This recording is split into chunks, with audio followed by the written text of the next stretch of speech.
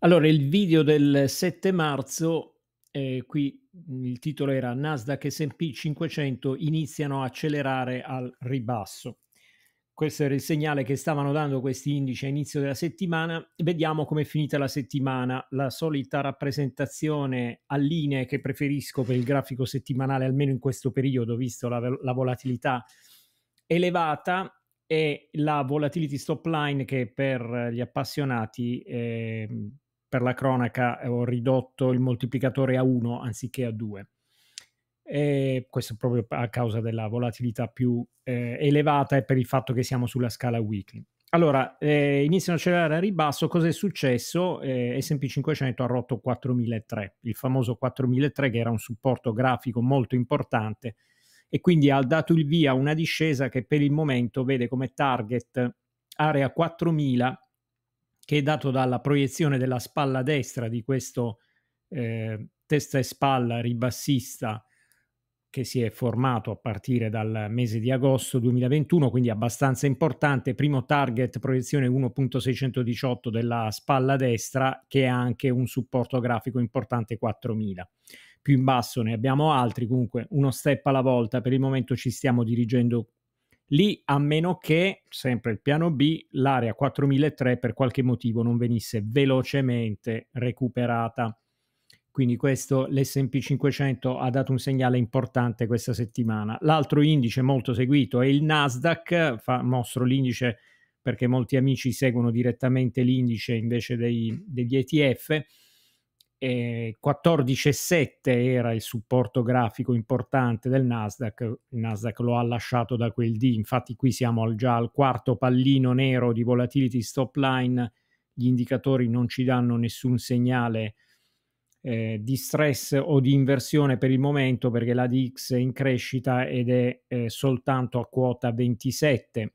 Il Nasdaq ha già raggiunto il primo target in area 13,5 questa settimana, come vedete dalla distanza dai pallini rispetto alle settimane precedenti, c'è stata un'accelerazione, quindi ha confermato la chiusura di venerdì quello che eh, si, che si mh, intravedeva già a inizio settimana.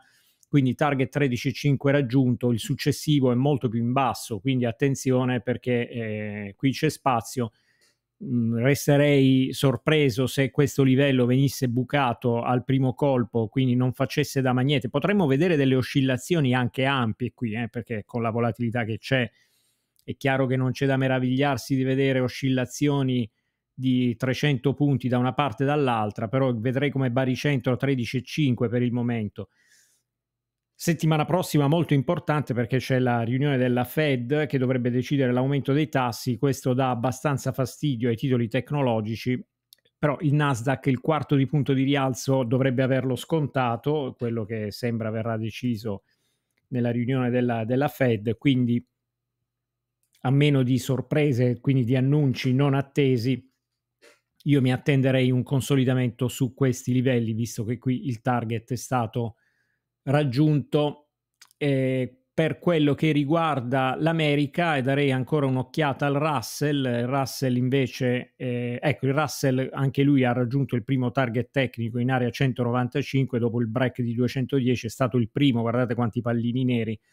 Abbiamo sempre detto che il Russell ha fatto un po' da apripista è il Russell, è già diverse settimane che sta stazionando sull'area magnete di 195, quindi attenzione a questo livello perché più in basso l'obiettivo è 180. L'impostazione comunque di tutti gli indici è ribassista e non ci sono sulla scala weekly per il momento segnali di inversione. Qui dal punto di vista tecnico l'inversione eh, avverrebbe con il recupero di area 210, questo è il l'ETF IVM sul Russell, che è l'indice delle eh, piccole e medie imprese eh, americano.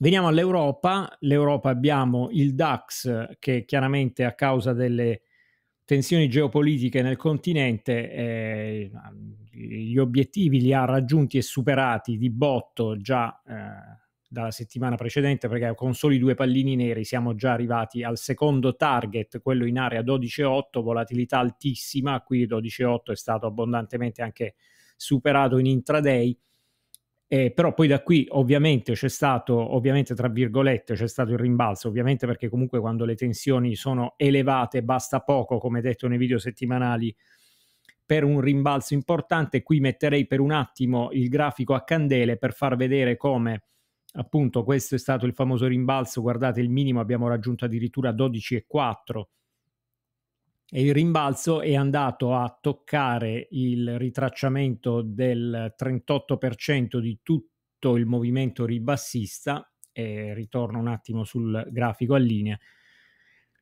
e poi da lì è tornato indietro e la settimana si è chiusa a 13,6, quindi mi attenderei, vista l'elevata volatilità, eh, qui che il eh, magnete sia 12,8, quindi propendo più per un eh, prezzi che vengano eh, giù a oscillare più intorno a quest'area, perché il tentativo di riagganciarsi al magnete precedente che era 14,2 eh, è fallito nella giornata di venerdì, eh, giovedì c'è stato il rimbalzo, ma venerdì i prezzi sono tornati indietro, quindi eh, ritengo più probabile da un punto di vista tecnico appunto che si vada a rivedere la parte bassa e quindi l'area 13.000, 12 e 8. Parliamo sempre di probabilità, qui palla di cristallo non ce l'ha nessuno. Eh, e l'analisi tecnica non fa previsioni, diamo solo scenari tecnici. Lo scenario tecnico dice che qui i bear sono ampiamente in controllo, il momentum è elevato e la volatilità è elevata. Abbiamo visto tante volte il V-Stox, lo rivediamo, il V-Stox altissimo a 39, quindi questi sono livelli che in passato hanno coinciso con fasi ribassiste prolungate, quindi anche il Fear and Greed Index che l'indice della paura calcolato dalla CNN, siamo in area di estrema paura, è un'area eh, dalla quale mh, potrebbero partire, come abbiamo visto, dei rimbalzi violenti, comunque non sappiamo da un punto di vista di trend quanto tempo gli indici possono stazionare a questo livello, quindi questi sono degli indicatori, non sono indicatori di timing, cioè timing cosa significa? Vedo l'indice a 10, compro, non funziona così come con gli indicatori di iper comprato ipervenduto. Uno dice quindi a cosa servono? Servono a capire che siamo comunque in una situazione di eccesso, di paura, di elevata volatilità e quindi da un punto di vista operativo poi si devono prendere certi accorgimenti. Cioè adesso per esempio le opzioni sono estremamente care, quindi comprare opzioni in questo momento to cure eh, potrebbe rivelarsi per esempio ehm, poco, poco, utile, ecco, perché la, la, copertura che offrono in questo momento è bassa perché vado a pagare il premio molto alto. Comunque qua entriamo in discorsi tecnici che esulano dal, eh, da questa analisi settimanale che serve semplicemente a dire più o meno in che situazione siamo. La situazione di eh, eccesso è sul petrolio che aveva rotto al rialzo con gli ultimi eventi geopolitici il canale rialzista nel quale stava oscillando dal mese di marzo 2021, quindi questa è una situazione non di eccesso, di più, eh, però anche qui mh, mm, quanto ci rimaniamo non lo sappiamo, torniamo sul grafico a candele per vedere se ci dà un segnale, un piccolo segnale c'è, un primo segnale dal punto di vista weekly, questa è una shooting star, quindi eh, ci dice che il livello di 128 da superare non sarà semplice perché comunque eh, c'è stato un reversal molto potente da quel livello. Ecco, torniamo al grafico a linee per guardare i preziosi. L'oro, eh, come avevamo detto nell'analisi settimanale, è andato a ingaggiare area 2000, ha chiuso a 1988, in intraday è arrivato, ha fatto uno shooting fino a 2060 eh, stessa cosa per l'argento che sta, ha consolidato questa settimana sopra le resistenze in area 25,4 che erano molto importanti. Attenzione a questi livelli in caso dovesse esserci un ritorno verso il basso perché eh, con un ritorno verso il basso significa che questo trading range, questo compreso fra 22 e area appunto 25 è invece ancora eh, attivo a proposito di ehm, trend generali, eh, abbiamo detto l'anno scorso tante volte che eh, il gruppo dei Fang era quello che aveva sostenuto gli indici avevano eh, comunque portato quella che era la, la, la, performance, il differenziale di performance, soprattutto con gli indici europei. Ecco, torno un attimo sul DAX per far notare una cosa, come siamo sui livelli, guardate, siamo sui, tornati sui livelli pre-pandemia, quindi sono i massimi del 2020. I massimi del 2020, questa chiusura settimanale era a 13.700, no? Abbiamo chiuso a 13.600 questa settimana, quindi ci siamo portati appunto sui livelli pre-pandemia. Guardate invece il Nasdaq, il Nasdaq è a 13.000, i livelli pre-pandemia erano a 9.600. Ok, siamo ancora molto molto più in alto, stessa cosa per l'S&P 500. Come mai S&P 500 4.200, giusto per completare il panorama, e i massimi pre-pandemia erano 3.400, quindi sono 800 punti che è il 20%.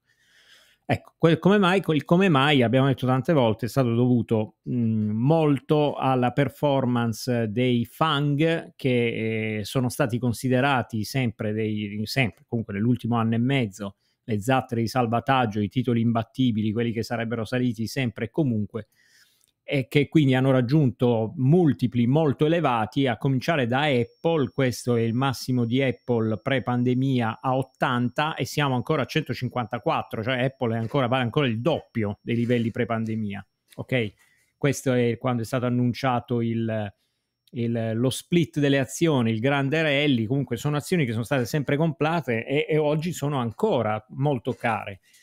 Eh, cosa stanno facendo? In settimana avevamo fatto un video per dire se i fang, per, chiedevamo se i fang stavano ancora sostenendo il mercato e la risposta era probabilmente no. Oggi, eh, con la chiusura settimanale, per la prima volta Apple rompe la volatility stop line su scala weekly, non c'ha ancora i pallini neri, però ecco, Apple ha mollato, è l'ultimo, questo è il titolo più forte di tutto il gruppo.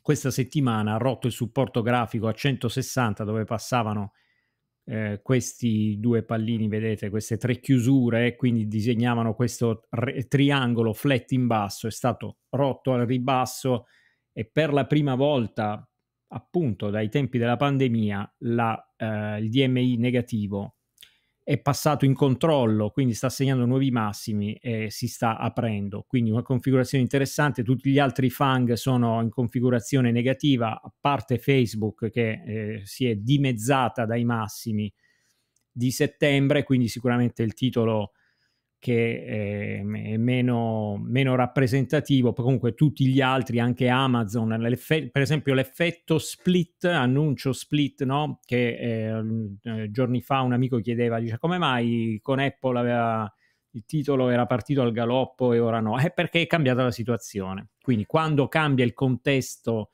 quando si è in un contesto altamente speculativo, qualsiasi eh, notizia vale per eh, correre al rialzo, correre a comprare, quindi lo split azionario che non, non cambia di un centesimo la redditività, gli utili dell'azienda, ma facilita soltanto la speculazione, fino a un anno fa era una notizia che faceva decollare le quotazioni, adesso non più.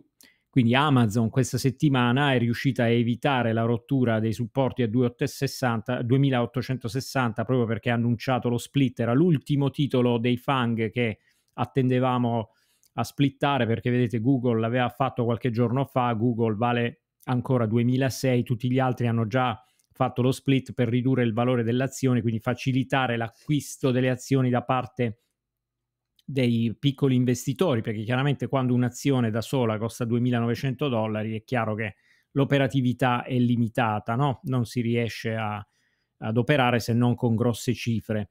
E quindi Amazon, anche Amazon è la quinta settimana di pallini neri, ha rotto un'ampia figura al ribasso, questo ma, eh, già nel mese di gennaio. Eh, guardiamo eh, Google proprio per eh, ecco, il, lo split. Qui c'è stato l'annuncio dello split, sembrava ecco, ora parte, ora decolla, invece eh, siamo tornati verso il basso. Attenzione questa settimana Google perché su un supporto, guardate, 2006 molto importante, ci sono tre chiusure settimanali. E quindi se dovesse mollare anche qui abbiamo spazio al, ri- al ribasso eh, area 2003 il prossimo target e persino Microsoft che è sempre stata considerata un po' come la, eh, Microsoft ricordo che uh, degli anni è, è, forse l'unico titolo della pattuglia dei top 10 degli anni 2000 che è ancora nei top 10, anzi è nei top 5. Eh, comunque, nonostante questo, anche Microsoft è in un chiaro trend discendente con i bear in controllo. Qui non abbiamo nessun segnale, possiamo vedere anche il grafico a candele. Non abbiamo nessun segnale, questa è la chiusura più bassa eh, degli ultimi mesi. Torno al grafico a linee.